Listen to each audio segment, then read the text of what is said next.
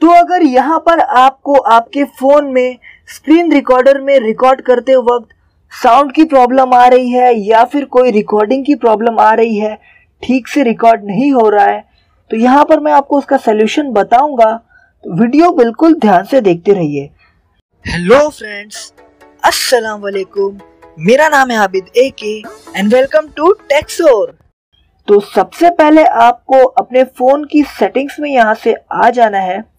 और उसके बाद यहाँ पर आप देख पाएँगे ऐप एप्स एंड नोटिफिकेशन तो वहाँ पर जाकर आपको ऐप इन्फो में क्लिक करना है।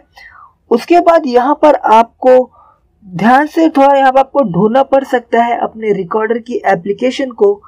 तो अगर आपको ढूँढने से यहाँ पर नहीं मिलती है आपकी एप्लीकेशन रिकॉर्डर की तो आपको ऊपर थ्री डॉट पर शो सिस्टम ऐप में जाना है।